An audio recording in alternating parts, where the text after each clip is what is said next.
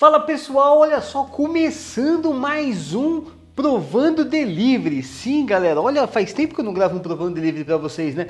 Na verdade, a grande verdade é que eu tava meio enjoado desse quadro. Aí eu falei, vou gravar um Provando Delivery, mas vou gravar diferente. Não vou fazer aquelas aberturas não, mostrando. Já tá aqui. É, é, isso aí. Vocês já sabem o que é, não adianta fazer drama, porque vocês já viram aí na thumb.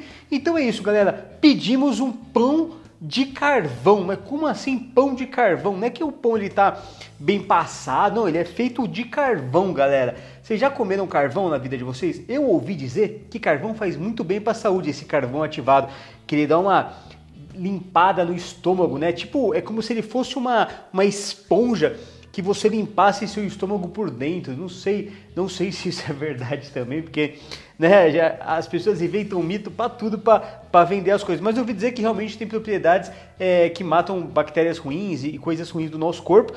E aí eu falei, vou comprar esse tal desse é, pão que aqui nessa padaria chamada é, é difícil, hein?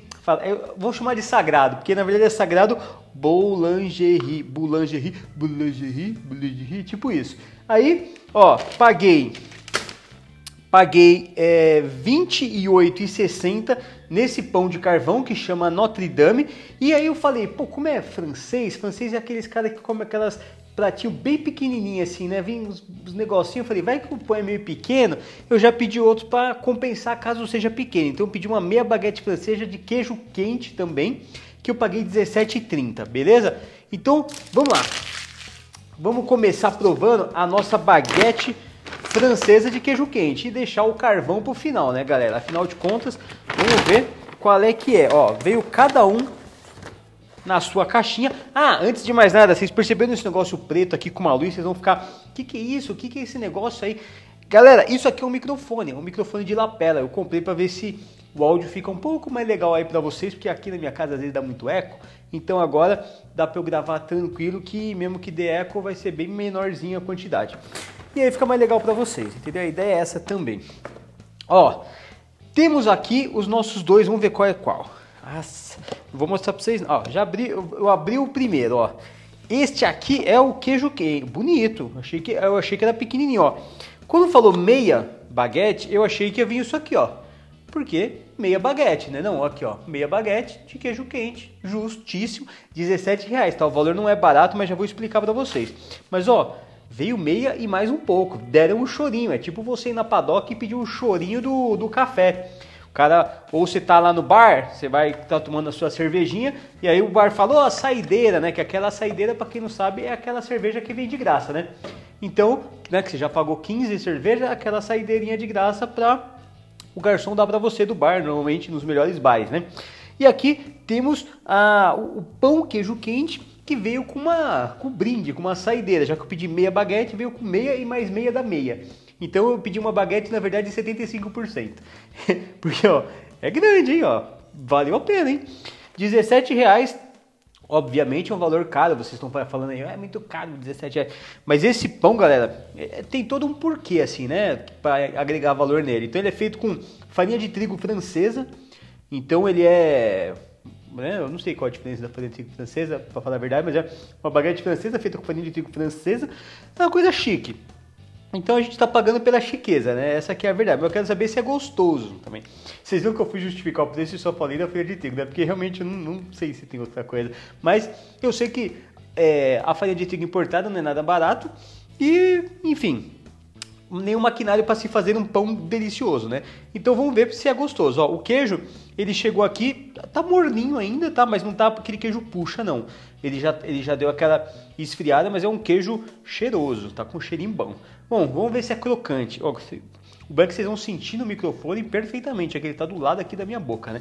Vamos lá, queijo quente, porque daqui a pouco vem o pão de carvão que eu consigo que vocês estão esperando. Hum. Hum. Olha, galera, se o pão de carvão aí vier na pegada desse queijo quente, muito gostoso, muito gostoso mesmo. Veio crocante, olha isso aqui, ó, ó. Se liga, meu. É aquele pão, baguete francesa, parece um pão italiano, só que o meio é mais macio que o pão italiano, sabe? É bem gostoso mesmo. Hum. Olha, eu sei que 17 reais é caro, ainda mais né, nessa época que a gente tá, que tá um monte de gente aí, né, infelizmente passando por uma situação apertada. Mas ó, valeu a pena. Tá muito gostoso. Por exemplo, 17 reais é o preço de um hambúrguer. Eu trocaria um hambúrguer por esse pão com queijo só para comer esse negócio gostoso que tá aqui, porque tá muito bom mesmo, galera. Hum. Olha, fazia muito tempo que eu não comprava um pão tão gostoso direto na padaria, até porque faz mais de um ano que eu não vou numa padaria. Mas pedindo em delivery e vinha uma coisa tão fresquinha dessa, parece que o cara acabou de tirar o pão do forno e mandou aqui para casa. Tá muito crocante. Última mordida e a gente vai para o pão de carvão. Bom, galera, se o pão de carvão vier nessa pegada, ó, nem mostrei pra vocês de pertinho, né? Ó, o queijinho aí como é que tá, ó. Pãozinho, ó, bem bonito mesmo. Aqui, ó, como ele é por dentro, ó. Ele é bem, bem, bem jeitosinho, né? Bem, cara, é bem gostoso mesmo. É um pão assim pra você para você comer assim, estou comendo uma coisa bem feita, uma coisa feita com prazer assim, né? Feita com os caras sabem fazer o negócio, entendeu? Então, se o pão de carvão vier na pegada e tamanho desse, eu já garanti esse aqui pro meu café da manhã de amanhã que vai estar, tá, ó, sensacional. Então vamos lá, Caião, sem mais delongas. Ele é, mano, ele, ele é pretão mesmo, cara. E eu achei que ele tava mais escurinho por causa da foto lá, né? Tinha dado uma escurecida. Não, galera. E é grande, ó. Oi? Ó, ele era uma baguete assim, os caras cortam no meio, né? Ó. Olha que coisa mais da hora. Sério, meu, isso aqui parece a baguete do Darth Vader, velho. Eu, eu, nem sei o que eu tô falando, porque eu não, não sou muito fã de Star Wars, mas é tipo um, um, negócio do Darth Vader, né? Me lembro do Darth Vader, esses lanches escuros assim. Olha que coisa mais da hora, cara. Sério, eu achei muito irado. Olha isso aqui. Será que tá crocante igual? Ó, não falei pra vocês do recheio, né? Ele vem com é, peito de frango defumado, que lembra aquele peito de peru que a gente compra, mas é peito de frango. Rúcula e mostarda de Dijon, ó rúcula e mostarda de Dijon. Lógico que se abrir o lanche ele não vai ser tão bonitinho quanto tá aqui, ó. Assim, ó. Hum, ó, coisinha tá, tá no nível da suculência, cara. Nossa, mas ele é muito carvão, cara. Olha isso.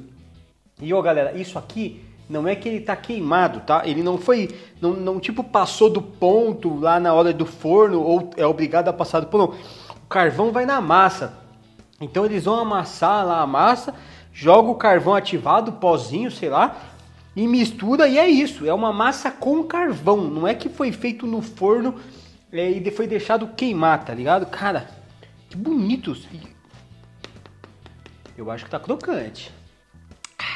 Aí ah, vem com aquela farinha embaixo, sabe? Isso aqui é muito típico das baguetes francesas mesmo, é, que tem essa farinha, tem a farinha de trigo embaixo, sabe? Eu acho muito bonito isso aqui.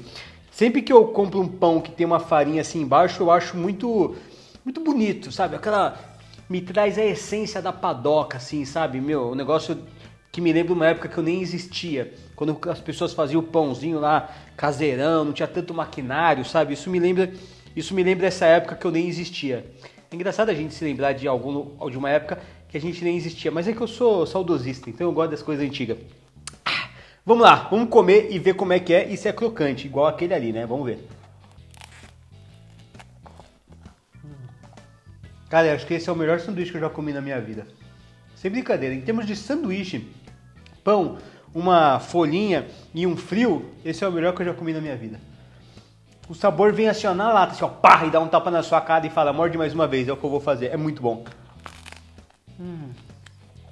Nossa, galera, a mostarda de Dijon tem uma picância, mas não uma picância que fica ardendo na boca, ela arde na mordida. Na hora que você morde, você sente a picância e ela some, sabe? Que meio que te obriga a dar outra mordida. Conseguiram assimilar esse sabor? É muito gostoso e a rúcula dá um frescor e assim, o gosto de carvão dessas coisas é zero, tá? Não tem. É só, só fica na cor mesmo, no visual. Porque no sabor, ó, olha como é que é depois que você morde. Ó, tem bem o. É bem escuro mesmo, é tudo escuro, tá vendo? Fica meio azulado. Não escuro de preto, é o escuro de azulado. Parece um escuro azul, azul petróleo, sabe? Não é, não é preto. Né? Não é que o pão é preto, ele, é, ele é tipo um azul petróleo, assim, é bonito. Hum. E também tá crocantezinho. Tá menos crocante que esse, mas eu acho que também porque eu demorei mais para abrir ele aqui. Mas tá crocante também. É muito gostoso, cara. É sério. Eu acho que eu comeria esse sanduíche todos os dias da minha vida, sem brincadeira. É, é uma, sem brincadeira, eu acho que é o mais gostoso que eu já comi. Eu não me lembro de ter comido um sanduíche tão saboroso com tão poucos ingredientes. Cara, tem o que aqui? Ó, uma fatia de rúcula, um pouquinho aí de, de, de João e uma fatia. Não é, não é, que são duas fatias, aqueles sanduíches cheios, não, ó. É uma fatia, uma de, de, de, de frango defumado. Mas assim, é o suficiente. Eu acho que talvez se fosse mais que uma fatia, não iria dar esse sabor que eu tô querendo descrever para vocês e não tô conseguindo. Acho que mais ia ficar demais, entendeu? Tá muito gostoso, tá muito. Hum. Hum. Nossa, cara, que sorte a minha, sério. Voltar a gravar e dar a sorte de pegar um negócio gostoso desse, parece até que é merchan, mas não é não, viu? Nem conheço ninguém da padaria Bolgerrie aí. Só que é uma delícia. Eles com certeza ganharam um cliente, que eu tô feliz pra caramba. É, eu tô não só feliz, eu tô maravilhado. É muito gostoso. Olha, é um sabor. A picância, depois que ela, ela bate na boca, ela vai sumindo e você vai sentindo o frescor da rúcula. E depois você é, sente uma tendência para outra mordida e comer e sentir a crocância. É maravilhoso, galera. É, é uma. É uma combinação perfeita. Então é isso, galera. Espero que vocês tenham gostado do vídeo, se apaixonado por esse pão de carvão, como eu me apaixonei, sinceramente. Nunca tinha comido um pão feito com carvão ativado. E é isso. Espero que vocês tenham gostado. Não se esqueçam de me acompanhar, não se esqueçam de me seguir em todas as outras redes sociais. E é isso. Até o próximo vídeo. Provando delivery, cozinhando, não sei. Vamos ver. Valeu, galera. Tchau, tchau.